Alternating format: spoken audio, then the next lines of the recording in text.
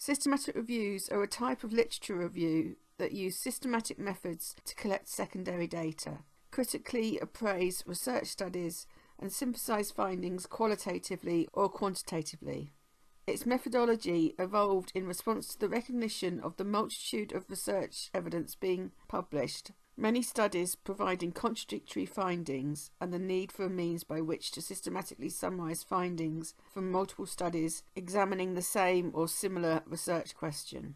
Archie Cochrane, a Scottish epidemiologist, wrote, It is surely a great criticism of our profession that we have not organised a critical summary, by speciality or subspeciality, adapted periodically of all relevant randomised controlled trials.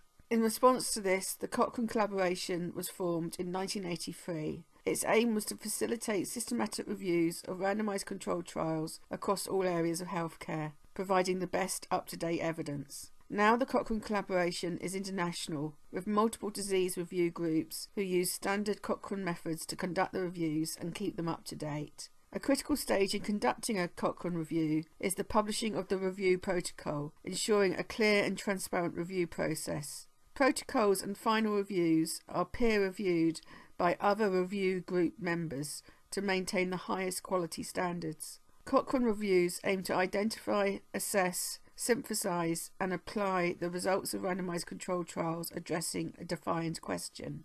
Not all reviews are conducted within Cochrane, so PROSPERO was set up and has a wider remit. It is an international perspective register of systematic reviews. It registers reviews with research questions requiring the synthesis of primary papers from a wider range of study designs than simply RCTs. For example, a systematic review may be conducted to examine outcome measures used in studies of social inclusion of patients with severe mental illness.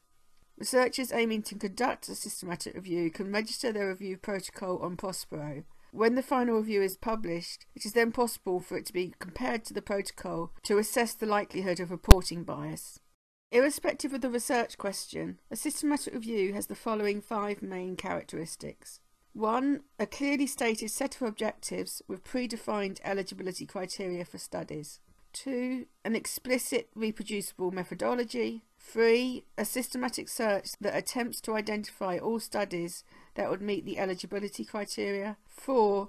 An assessment of the validity of the findings of the included studies, for example, through the assessment of risk of bias. And 5. Finally, systematic presentation and synthesis of the characteristics and findings of the studies.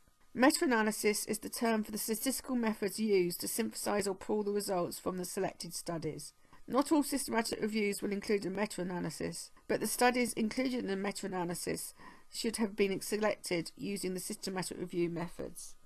The systematic review we are going to consider in more detail in the next few steps is examining the effectiveness of educational programs for the self-management of asthma in children and adolescents. A similar review in adults had previously shown such programs to benefit people with asthma. A similar review in adults had previously shown such programs to benefit people with asthma by reducing morbidity and their use of healthcare resources. A previous review of the paediatric literature had not seen comparable findings in children and adolescents. However, a number of new evaluations had been published since, and it was felt timely to update the child and adolescent review.